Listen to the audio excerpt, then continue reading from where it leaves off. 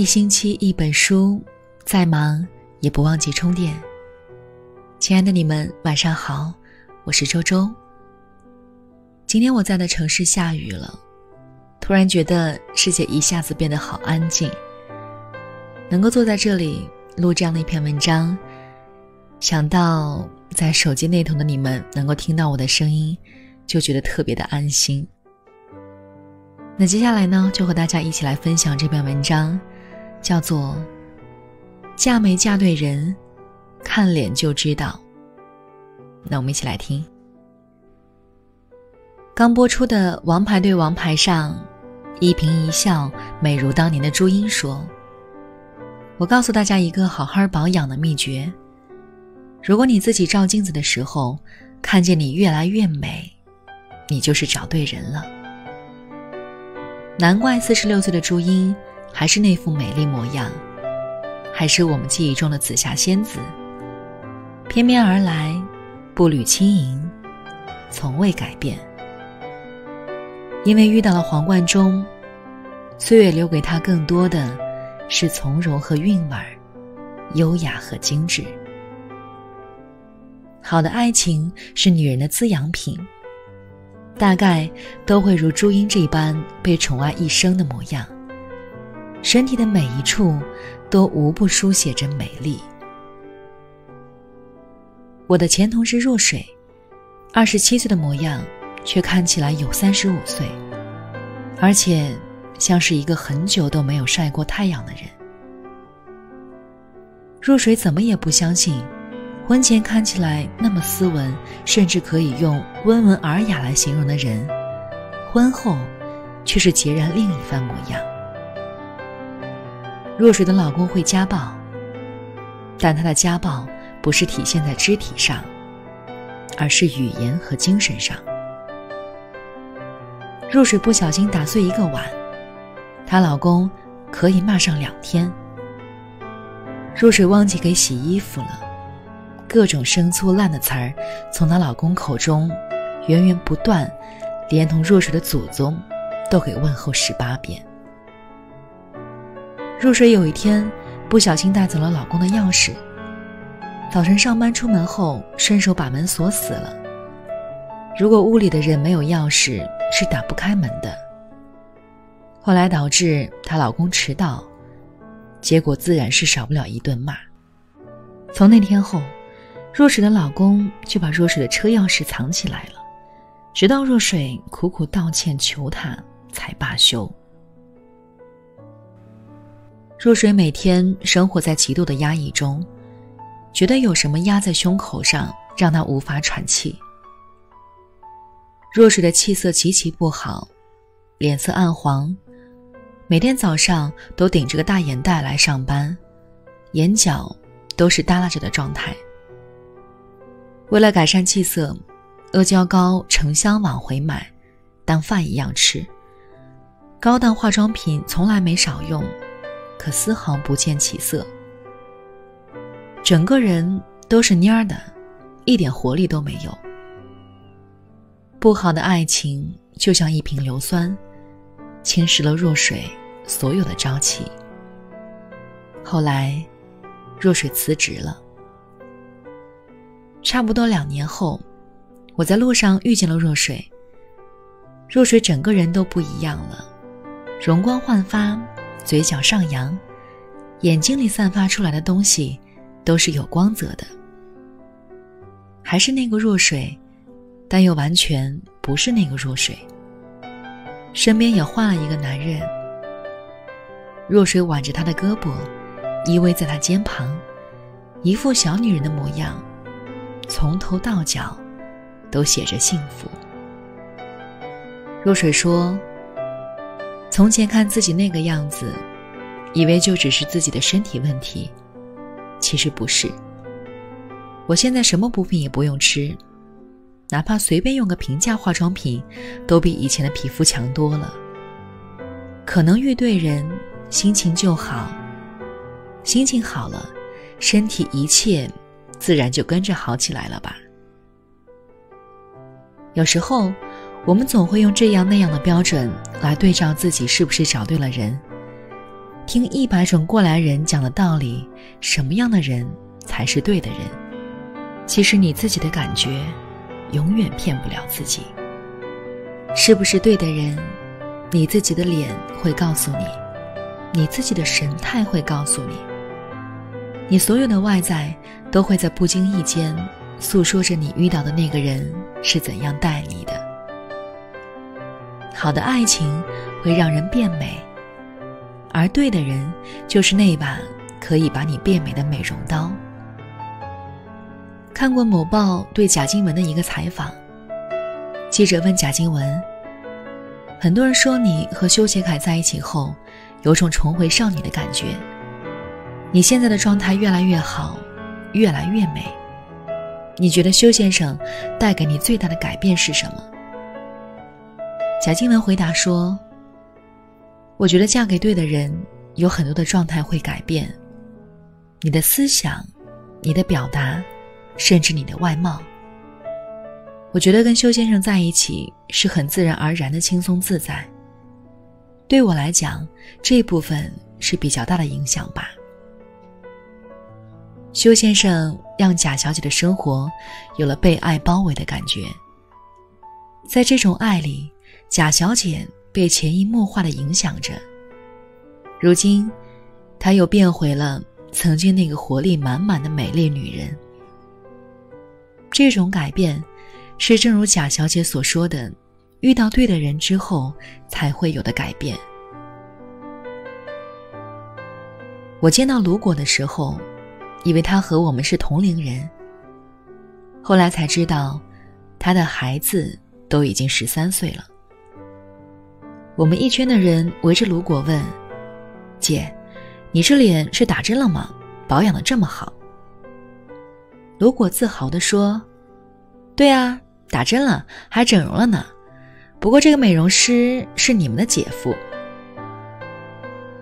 看罗果现在的模样，你简直想象不出他以前的样子。干瘦偏黑的皮肤透着油光，还带着几分邋遢。如果生活在一个并不幸福的家庭里，每天父母的吵架声不绝于耳，家里的东西经常被摔得七零八落。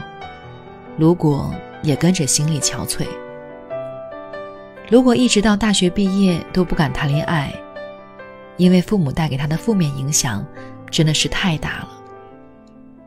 那时候的如果吃什么都胖不起来，瘦的不健康，精神状态也特别差，脸上除了油光就没有别的光芒了。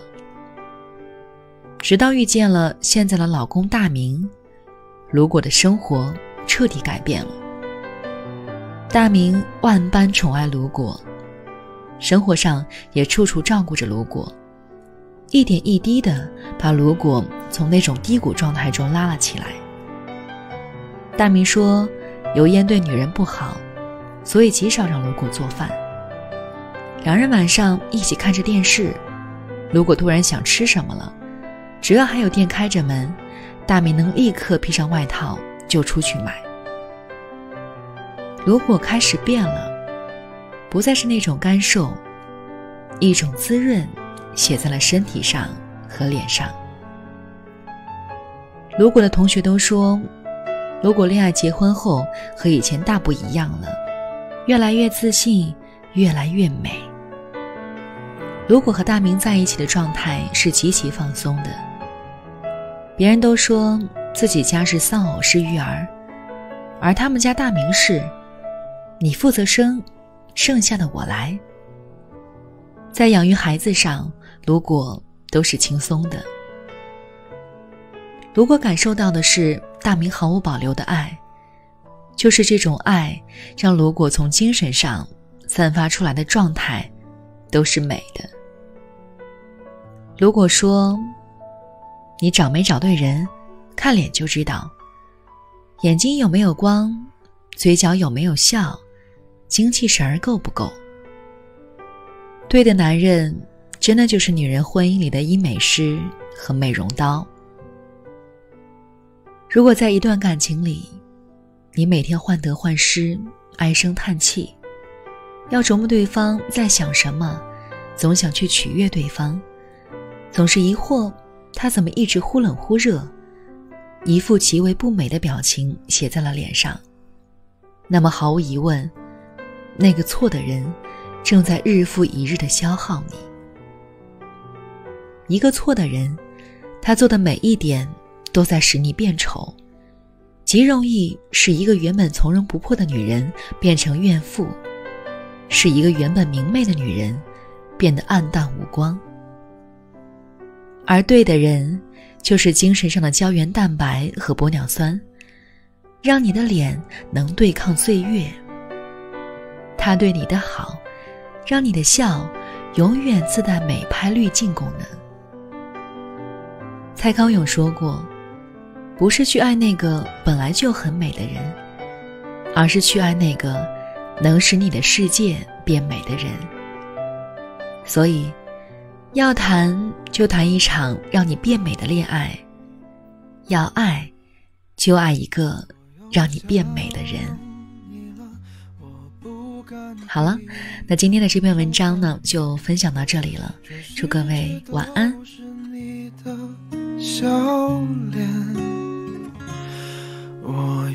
想你了。穿梭在我们都熟悉的画面，一遍一遍，又是一遍，在这没有你的世界。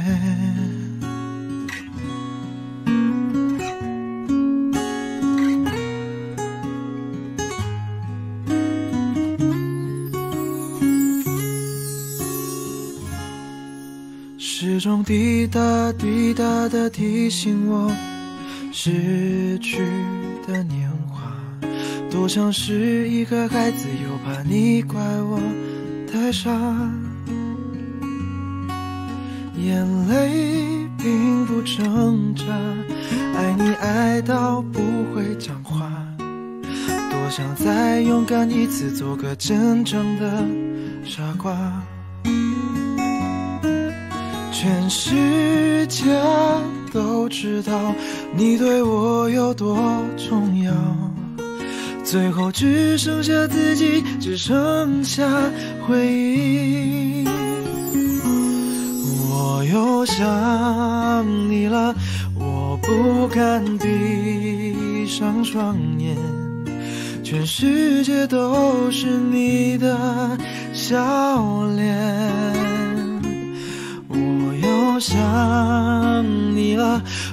坐在我们都熟悉的画面，一遍一遍，又是一遍，在这没有你的世界。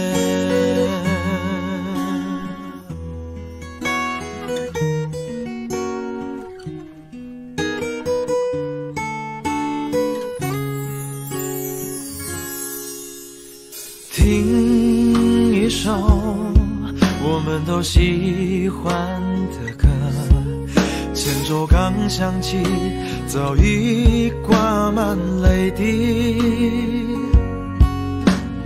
尝一口我们都喜欢的味道，还没入口，那滋味已变苦。这是最后的画面，这是最后的味觉，最后只剩下孤单，只剩下想念。我又想你了，我不敢闭上双眼，全世界都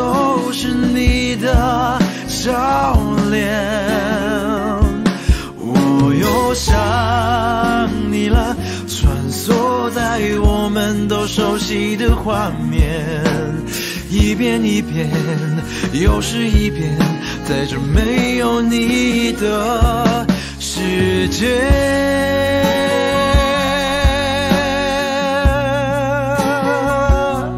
这世界。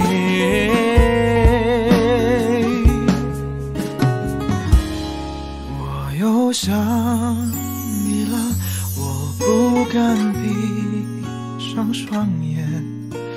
全世界都是你的笑脸。我又想你了，穿梭在我们都熟悉的画面，一遍一遍，又是一遍，在这没有你的。